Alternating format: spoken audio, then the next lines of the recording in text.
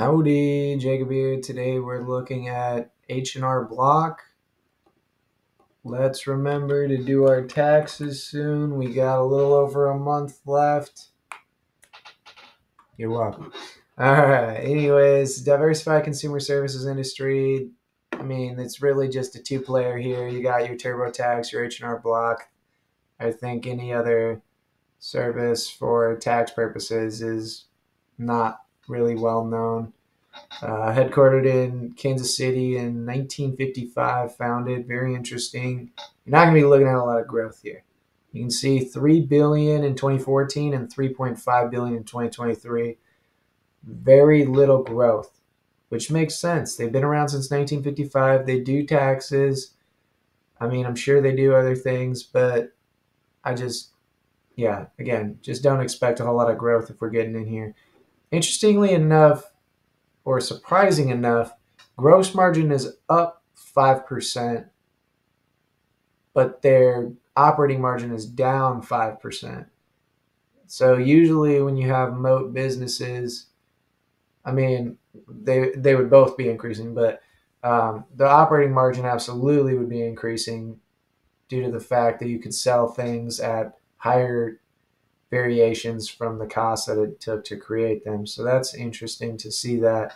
Return on invested capital has always looked extremely substantial, but keep in mind that when you repurchase shares, it inflates your return on invested capital due to being calculated off a book, uh, due to being calculated off the balance sheet. So if you're looking for share repurchases, by golly, this could be the company. I mean, 274 million in 2014 down to 154 million in 2023 you're nearly cut in half over a 10 year period. So that's going to be a great use of giving money back to the shareholders as long as it's bought at cheap prices.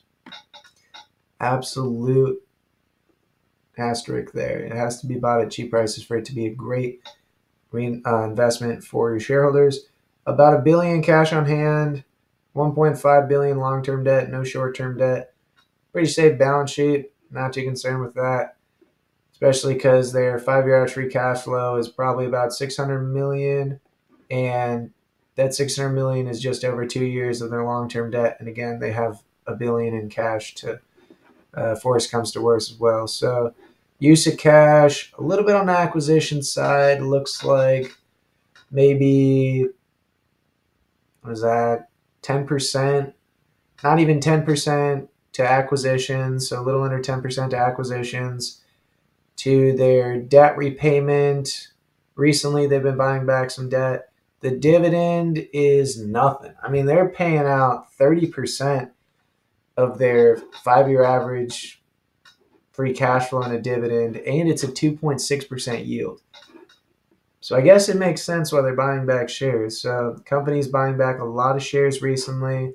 They are at a 13 PE and it looks like they've jumped pretty substantially over the last five years. So at one point, it was probably close to a eight or under PE, so it makes sense why they were buying back shares down there. Uh, be interesting to see what they're doing right now. But for now, I'm, I think I'm ready to make some assumptions on the revenue change side. I mean, we're not looking at much growth here. But again, with consistency, people love consistency, and outside of COVID, you're looking at a very consistent business.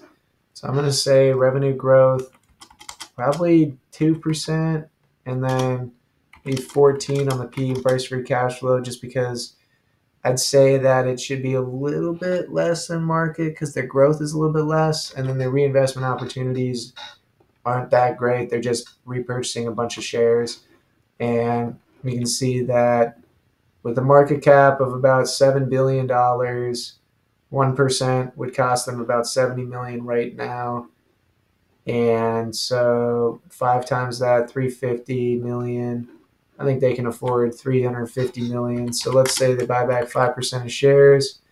And again, the share change is just an assumption here. There could be other uses of cash that they do, but um, to me, companies are fairly consistent with what they do in free cash flow. And as you can see here, this is going to be their main use of it. But obviously, if the price price goes up and doubles and triples tomorrow or the next year, you might not want them to be repurchasing shares. So this is also assuming that the history um, doesn't necessarily repeat itself, but is closer to history. And that's why, again, we be conservative with our estimations. And then because they're buying back so much, so many shares, this aggregate, if all else equal, would go down in dividend. So that's why I'm going to assume that they can probably afford a 5% increase in dividend. Because again, if they're buying back 5% of shares, they can increase their dividend 5%. Again, fake math, but uh, keeps their aggregate relatively flat. Margin side, let's go pretty much average here 15, 17. Let's do it 15, 17. And yeah, we're really not too far off, which makes sense. I feel like I looked at this company when it was sub 30 and got pretty excited about it. So again, this is people might bring up value trap, this, that, and the other. Value trap is just being incorrect on your assumptions. So it's not it's not a diss or a brag or anything that you could think of. It's just if you're wrong about present value, then you're going to be wrong in the return you'd estimated on your stock. So value trap is just being incorrect about calculating your present value. And again, that's not saying in the short term anything because in the short term anything can happen. But if you are if you make great assumptions and the assumptions come to fruition uh, or the business plays out similar to your assumptions, your return should be close to your expectation because in the long run, uh, it, it, in the long run, stocks are voting, or in the short run, it's a voting machine. In the long run, it's a weighing machine. So it's it's just the price of the uh, the true price of the business will show in the long term.